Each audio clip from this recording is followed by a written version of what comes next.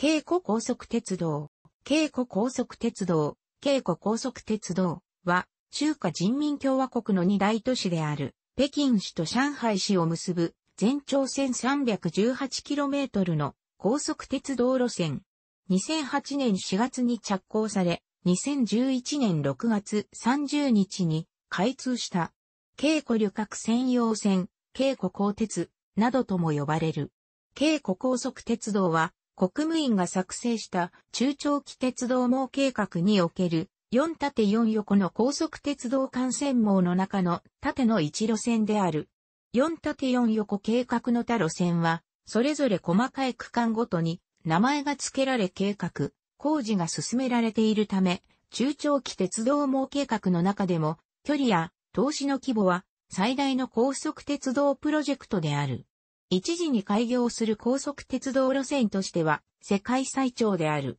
北京、上海といった二大都市を結ぶ重要性から中国の高速鉄道でもごく初期から政府機関の間で構想、計画が出ていた。総投資額は2209.4億元であり、西部大開発の静電闘争、南水北町、正規灯油、製造鉄道や三峡ダム建設といったプロジェクトと並ぶ中国の超大型プロジェクトであり、投資額は中華人民共和国建国以来最大だと言われている。最高速度が時速 300km の列車と時速 250km の列車の2種類が走る。開業当初、最高速度が時速 300km の列車は63往復、時速 250km の列車は27往復で1日、あたり合計90往復の列車が運行されていた。そのうち、北京南駅始発は69本であり、始発の7時から終電の18時40分まで約10分おきに発車していた。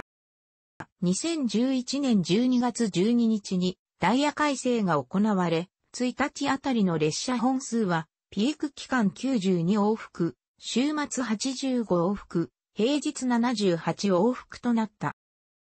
北京南駅上海公共駅間の最短所要時間は、途中南京南駅のみに停車する列車の4時間48分であり、1日に2往復の設定がある。また、最南西駅にも停車し、所要時間が4時間55分の列車が上海公共駅からは6本設定されている。ごく一部の区間運転列車を除いて、各駅停車で運行する列車はなく、原則として気取り停車によるダイヤが組まれている。京古高速鉄道が経営する省の省都の駅、北京南駅、上海公共駅のほか、天津市の天津西駅、河北省の石化総北駅、山東省の最南西駅、安徽省の合肥駅、チャンスー省の南京南駅からは、それぞれ始発列車が走っている。他路線に乗り入れる場合もあり、など多彩な列車が運行されている。中華人民共和国の政治の中心都市、首都である北京と、経済の中心都市である上海を結ぶ、既存の鉄道路線、京古線の線路容量が限界に近づいてきたため、新しい高速鉄道の建設が計画された。2006年に鉄車輪、鉄レール方式の新線で建設されることが決定した。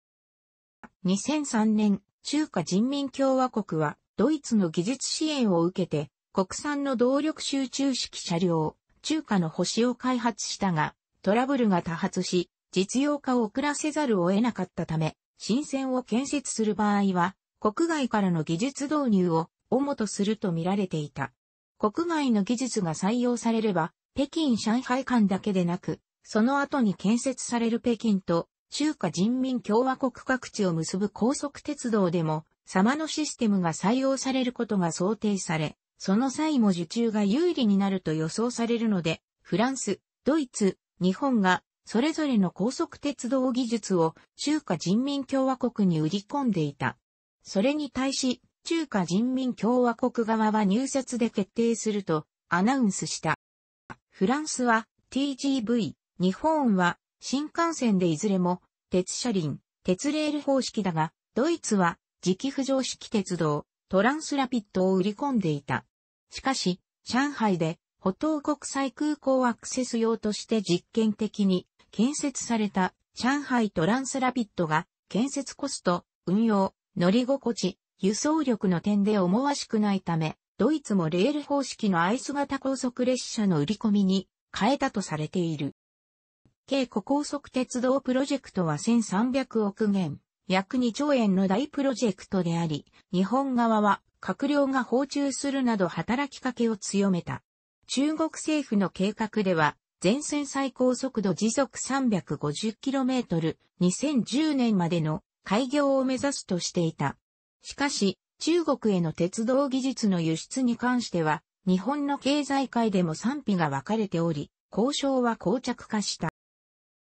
海外技術の導入に際しては、韓国 KTX と同様に、現地への車両生産技術の移転が前提とされる。そのため、台湾高速鉄道に対しては、技術供与を行った東海旅客鉄道、JR 東海や西日本旅客鉄道、R 西日本は、として反対の意思を表明し、日本の企業連合には加わらなかった。JR 東海の笠井隆之会長は、中国への新幹線技術の輸出に関して、日本側が得るものが少なく、むしろメーカーの国際競争力低下につながるとして、否定的な意見を述べていた。日本の経済界においても、中国への高速鉄道技術の輸出に関しては、賛否両論に分かれていた。東日本旅客鉄道、JR 東日本は、比較的積極的であり、同社の E 日系に準じた車両が導入されたが、あくまでも後継車 E5 系の投入が決まり、型落ちとなる車両の輸出ではある。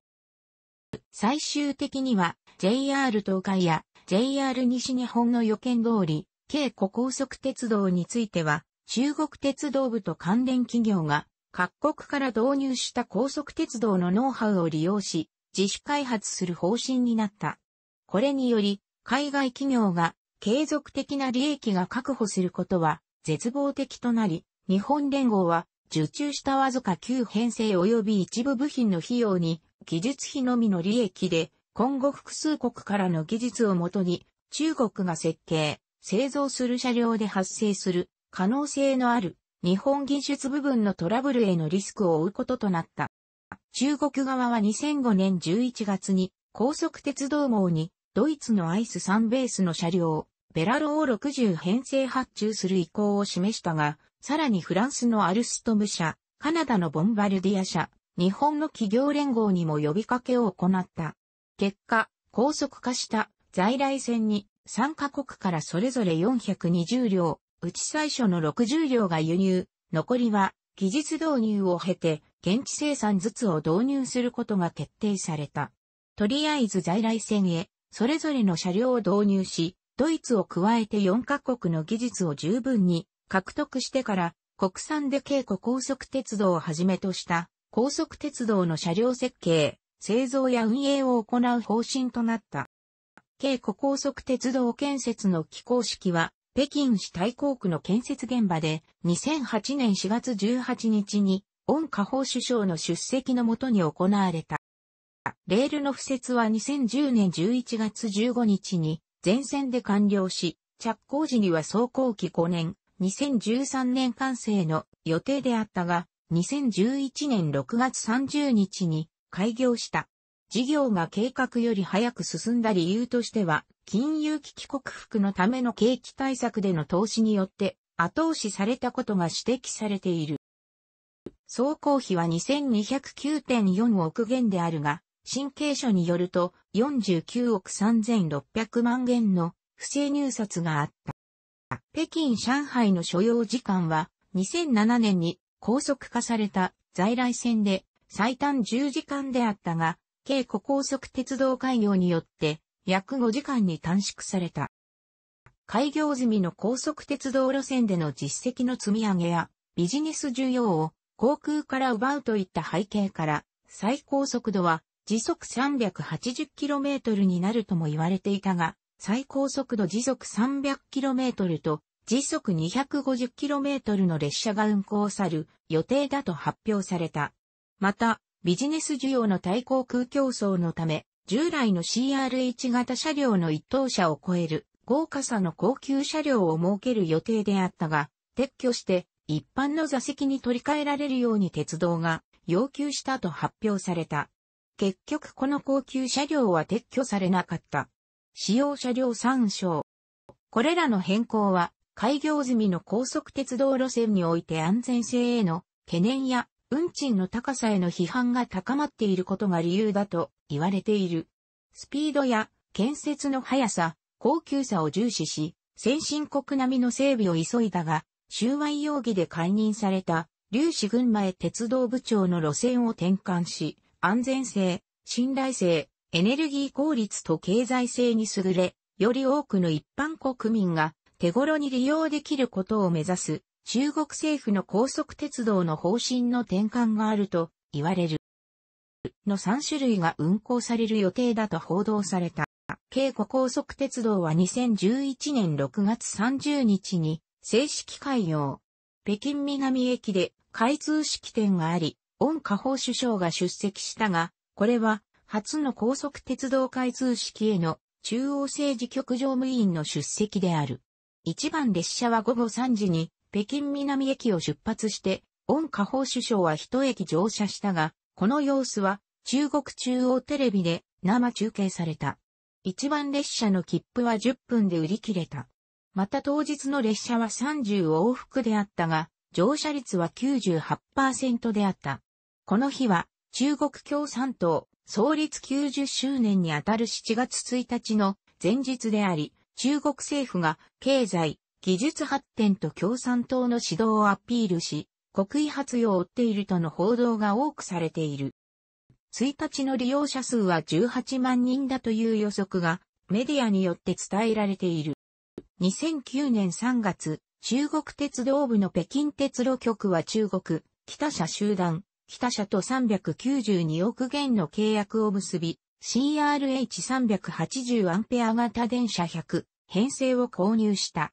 これらの国産化率は85%に及び、最高速度は時速 350km で、主に京湖高速鉄道に使用される予定だと報道された。列車は16両編成で、VIP 車、1等車、2等車、食堂車から構成される。100編成のうち、北車グループの東山機動客車有限講師、当客が70編成、長春機動客車有限講師、乗客が30編成を製造して2010年から引き渡された。2009年時点では4つの主要問題を解決中で速度の高速化に伴う基礎技術の問題、省エネと環境保全の問題、快適性の問題、信頼性の問題であると、乗客の党業法等次長は説明している。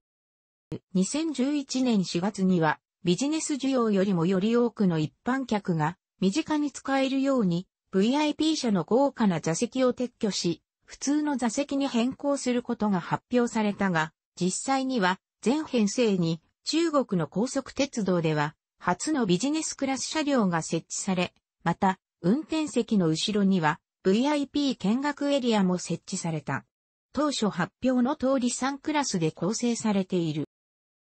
2016年、次世代の高速鉄道車両 CR400AF の試運転が開始され、翌年から営業運転に投入された。北社と南社が合併して誕生した中車が製造を担当している。汚職事件で国民の間で安全性への懸念が強まったため、地震計31箇所や風速計を多数設置するなどして安全のために緊急時に列車を減速、停止させるシステムに力を入れたことを中国鉄道は強調している。また、終電後には4時間の保守作業を実施し、始発電車の前には点検車両を走らせると発表された。さらにおおむね10日に一度は線路の測定用列車を走らせ、車両側も毎日検査し、定期検査も厳格に行うと発表した。高速鉄道の規則では、電力供給の信頼性確保のため予備電力線が取り付けられることになっているが、開通から3ヶ月以上経った2011年10月時点で、理営変電所からの予備電力線が完成していなったことが判明した。鉄道部と運営会社である京古工士によると、取り付け工事は12月15日に完了した。電車の始発設備が設けられているのは、北京南駅、天津西駅、西南西駅、南京南駅、上海公共駅の5主要駅である。京古高速鉄道の駅には、新駅や高速鉄道線の交通拠点として近年リニューアル、進められた主要駅が多い。5主要駅の中の途中駅は、将来区間需要が増えた時には、発着列車が設定される可能性がある。また、どの主要駅も、旅客専用線、都市間鉄道といった高速鉄道や、在来線、地下鉄や路面電車といった都市交通が集まる大型の交通拠点となる。楽しくご覧になりましたら、購読と良いです。クリックしてください。